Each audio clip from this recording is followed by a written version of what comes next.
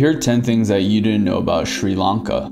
Cinnamon is native to Sri Lanka and was first found on the island. This mountain is deemed to be the location of Buddha's last footsteps and also where Adam was exiled to from Eden. Sri Lanka has one of the highest literacy rates of all South Asian countries. Sri Lanka is home to the world's oldest human planted tree and it originated from a piece of the tree where Buddha sat against. They had a civil war that just ended in 2009 which went on for about three decades. Volleyball is the national sport of Sri Lanka. They're one of the top tea exporters in the world, exporting about $1.3 billion worth. The world's first female prime minister was in Sri Lanka.